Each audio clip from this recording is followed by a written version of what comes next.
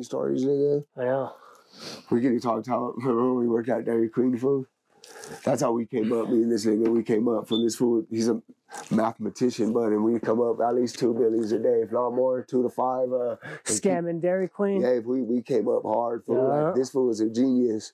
And then, yeah, that's how that's how we got our first apartment. Remember? That's how we got our first break. Remember? That's what we did. We stacked up. We got our first brick, food, and then we. Stealing. Oh, and then that scam we're running at MCI. Oh, we don't have enough time to tell that. Yeah, There's not on enough time. one, yeah. yeah. That's like MCI is a whole story in Oh, itself, fuck, dog. yeah. That's a 20 minutes, half hour by itself, that dog. that's some crazy shit right there. And we could talk all about that one because MCI is It's no longer a thing, dog. They already been indicted. Uh, done deal. Yeah, Yeah. but all the and we didn't burn the people, we burned MCI. So really, we just burned a bunch of criminals anyway. We yeah, we didn't we actually burn nobody, Uh-uh. because we just hooked up the payphones. You know what I mean?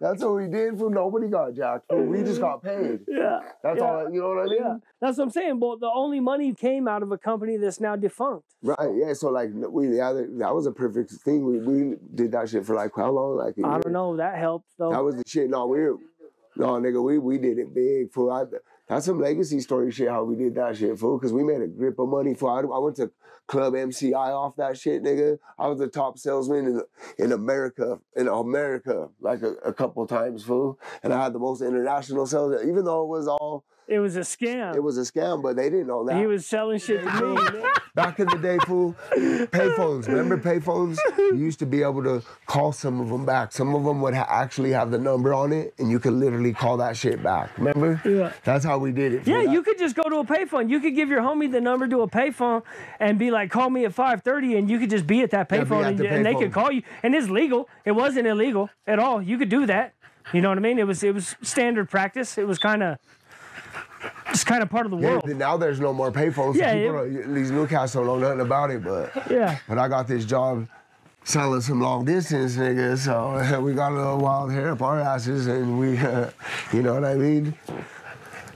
Then We would do. Remember, we I had a pager. That's what. Then this fool would go around and page me with the the number. Remember? Yeah. You page me with the number, and then I would set up a whole profile for it. And then I'd call it. This fool would just wait. It would be worth waiting. This fool would find the phone and just wait for me to. If it took an hour, if it took two hours, you would wait there uh, until I called, fool. And then boom, I set up because sometimes it'd take me longer because the MCI that they're understood. They they watched everything too, so I had to be be on it. But but my uh, my supervisor was my cousin, so I had a little bit of a little bit of leeway on that one. So uh, he really never watched me too much, but when he did, I I did my thing. Or not, I did my thing, but uh, so he didn't really suspect me. But you know who got me hammed up, got us hammed up, and stopped that whole Aunt Noel's boyfriend, Davey Spikes. Remember that fool? Oh.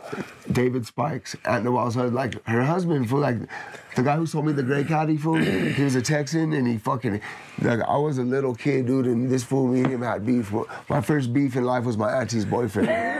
And this nigga was a grown ass man. He was like 36 or something. I'm literally 10 years old, nigga. Straight up, I mopped that fool. A couple, we were crazy when we were little kids, fool. Like I couldn't see these 10 year olds doing what we did, fool. I swear.